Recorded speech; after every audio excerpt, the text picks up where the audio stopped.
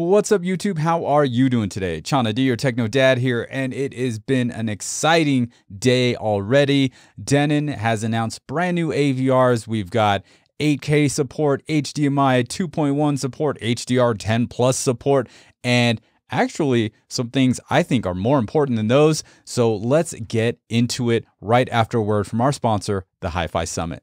Have you ever wanted to attend a Hi-Fi trade show but couldn't? Now you can. On June 26th to 30th, the Hi-Fi Summit begins. It's going to be a five-day event available to people worldwide. There you can see your favorite brands and you'll get to see all the new products before anybody else. If you're shopping for products, you can even narrow down your search based on price and other specific criteria. You'll be able to chat live with other audio enthusiasts, ask questions about products and get them answered directly by the companies. You'll be able to vote for best in show. You can even leave testimonials for your favorite brands. But no trade show is complete without an after party. So we're going to have Techno Dad spinning every single night. So you'll be able to sit back at home, bump it on your system, go to the HiFiSummit.com, buy your ticket, and let your hi-fi journey to the top begin. All right, guys, be sure to buy your tickets to the Hi Fi Summit. Link is down in the description. Now, before we go ahead and go through this press release, now, one of the things I liked about what Denon did last year when they announced the X3600H and something I was jazzed about, if you guys are, you know, here with the channel a lot, you guys knew last year, I thought that was an awesome one. And if you guys are new here and don't know me or my ugly mug, make sure you subscribe up and hit that bell so you get notified when the next videos are released because I love this home theater thing and I'm really into it and I got a lot of information for you. So if you're learning, definitely subscribe up. Anyway, one of the things I really liked about it is that they brought 11 channel processing down from the $1,600 price point to an $1,100 price point.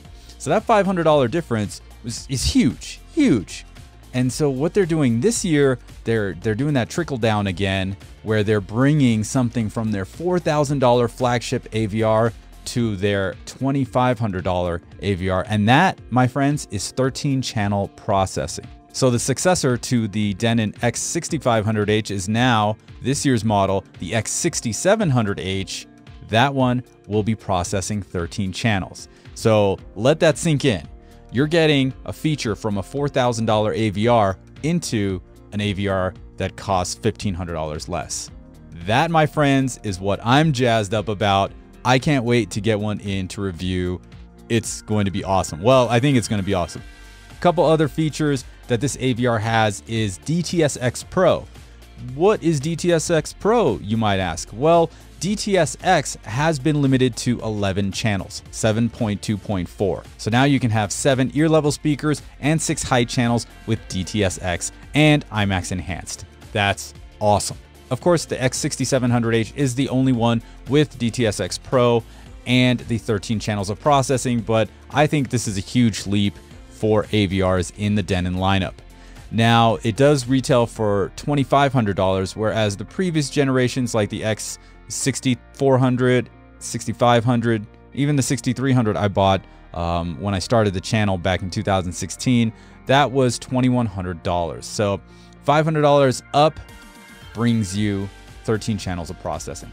It will only still power 11 channels, but you can get 13 channels of processing with a two channel amplifier, or as I always recommend, get yourself a five channel amplifier, power up that front stage, or power five ear level speakers, whatever. If you do that, boom, you've got access to the extra two high channels if that's something you want to do. Now, of course, an extra two high channels, I would put that in a dedicated theater room where you've got two rows of seating. So you've got two speakers right in front of the front row, two speakers in between the front row and the second row, and then two speakers behind the rear row. So that's how I would set it up if I had the opportunity to have six high channels and, of course, a dedicated room. Chances are I can't do this in my living room, but hey, some of you might. And then, of course, if you want to run front wides, you can have, you know, 9.2.4. So that's another option for you guys as well. So let's dig into this press release and check out all the other cool stuff. I know you guys are wanting to know about HDMI 2.1 and all that. So let's get into it. All right, guys, so here's the lowdown of what models are being released, what's the price, and basic features. We've got the AVR X2700H at 849, seven channels of processing and power, 95 watts, full bandwidth, six HDMI inputs, two outputs, 8K 60 and 4K 120 HDMI pass through. And let's move over to the X3700H We've got $1,200 this year, 9 channels of power, 11.2 channels processing, 105 watts per channel, full bandwidth. We got 7 HDMI in, 3 out. Now, one of the cool parts about the new Audyssey is that you can save two profiles onto the unit itself without the use of the app. So that is a cool feature there. Moving on to the X4700H, we do see another price increase by $100 from $1,600 to $1,700. We're getting nine channels of power, 11 channels of processing, 125 watts per channel, full range and 8 ohms, two channels driven.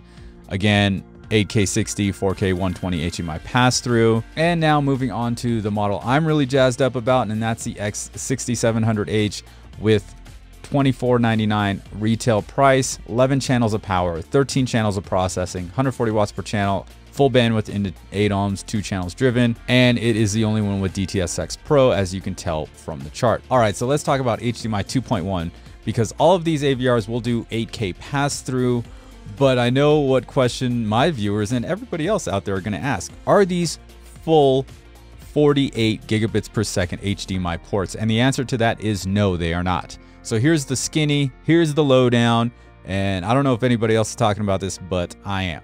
So, how many HDMI 2.1 ports are you getting? Are they all HDMI 2.1 ports? And the answer to that is also a no. You are getting one HDMI 2.1 input and you're getting two HDMI 2.1 outputs. And all of that is capped off at 40 gigabits per second.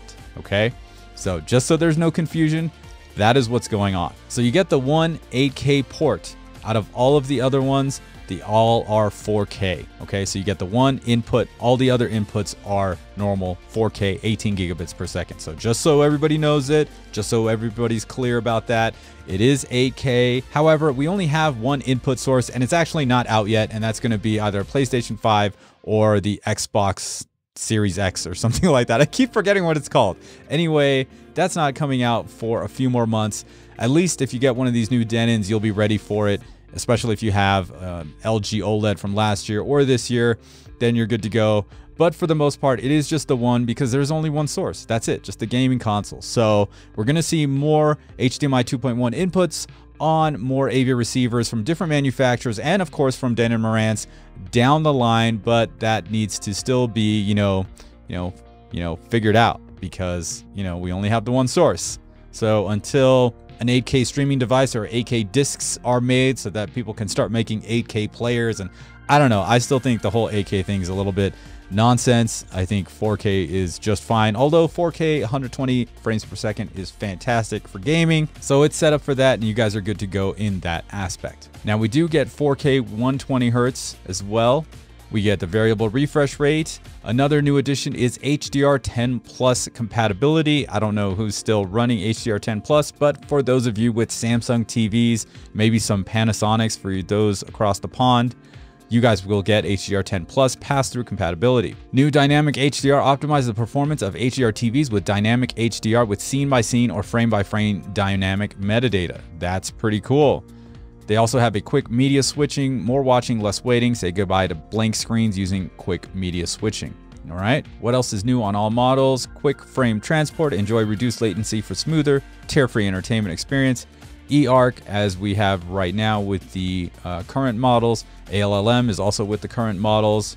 Incredible color, 444 pure color sub sampling, HDR10, HDR10 Plus, Dolby Vision, Hybrid Log Gamma. I think that's pretty much the same as what we had last year, except for the HDR10 Plus and the dynamic HDR. HDCP 2.3 on all the new models as well just like last year. Audio and surround sound, the only new thing is DTS X Pro, which is only available on the X6700H. DTS X Pro enables users to process up to 13 channels. So let's quickly go over DTS X Pro. Support for all 3D audio formats is available with Denon X6700H and X4700H, including Atmos, Dolby Height Virtualization, DTS X, DTS Virtual X, IMAX Enhance, and Auro 3D out of the box.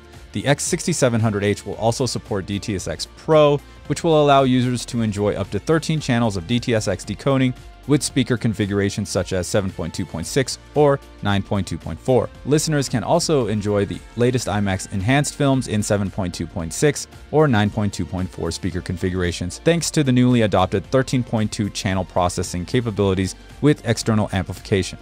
The DTS:X Pro feature will be delivered via firmware update later this year, so it does not have it in there right now. Another cool thing is the preamplifier mode for the 3700, 4700, and 6700H, which was only found on Denon's flagship X8500H which was their $4,000 AV receiver, if you don't remember that one. Preamplifier mode provides a clear signal path and more tolerance in clipping levels by disconnecting internal amplifiers when the receiver is used as an AV processor and all speakers are powered by external amplifiers. Okay, awesome, awesome. So they're they're kind of rolling with this. This is an AVR slash pre-pro for the $1,200 AV receivers on up.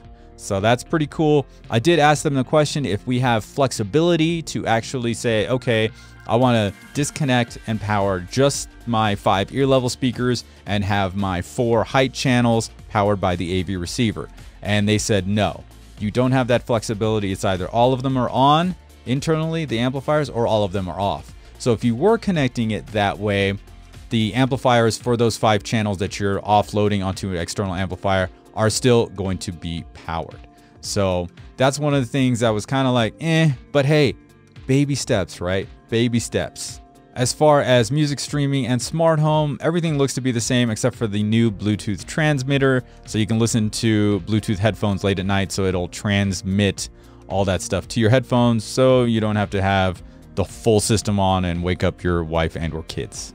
Cool feature. As far as setup is concerned, I already mentioned the new feature with Audyssey. You can save two profiles onto the unit itself without the app. But if you're to get one of these AV receivers, you know, you're to spend more than a $1,000, spend the 20 bucks on the uh, the app so that you can fine tune Audyssey. And even what Phil Jones said, like the the you know processing in here is is better than the ones that's in the AV receiver. So you're going to get a better room correction using the app. It's 20 bucks on your local app store. And of course, what you guys have been wanting to know for sure, when are these things going to be released?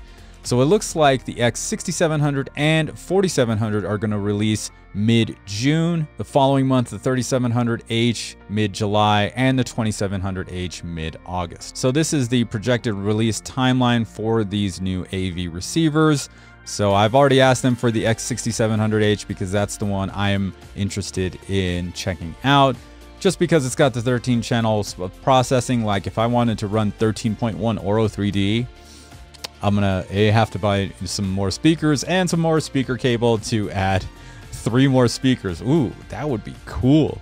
You know, you get the top, the center, the center top, like above the TV. Ooh, exciting stuff. Exciting stuff. So um, I'm hoping to do some stuff like that and check out all the new things that they have to offer. So I'm pretty stoked about this. Again, I like that whole trickle down thing. So last year they did it with the X4500. You know, they they trickled down to the X3600. They let that 11 channel processing, nine channels of power into a smaller AV receiver or cheaper at least AV receiver. And now we're getting 13 channels of processing that we would normally see in a $4,000 receiver down into a receiver $1,500 less. So that's definitely a welcome surprise. I didn't know they were going to do that. I think that's pretty awesome. That just shows that they're trying to pack more value into their AV receivers, and that's always a good thing. Well, that's pretty much it for this video. If you guys have any questions about these amplifiers or anything else, let me know down in the comments below. Of course, you can always hit me up on social or email, whichever you like to use. And a uh, big shout out to Denon for letting me in on this ahead of time so I can prepare a video. So thank you guys so much. And I'm waiting. I'm waiting on that 6700. So whenever it's ready, guys, send it on over. I'll be happy to make a video. Well, that's it. If you guys like this video, go ahead, smash that like button, and don't forget to subscribe to my channel using the button in the middle screen. Once again, my name is Chana D. I'm your Techno Dad, and I'll see you next time.